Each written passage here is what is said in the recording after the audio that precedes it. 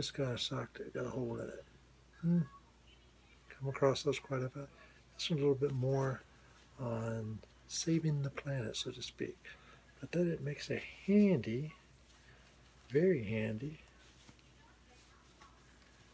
small sack that you can put your resistant bands inside and carry it, throw it into your backpack, your knapsack, and better yet, you can add not one,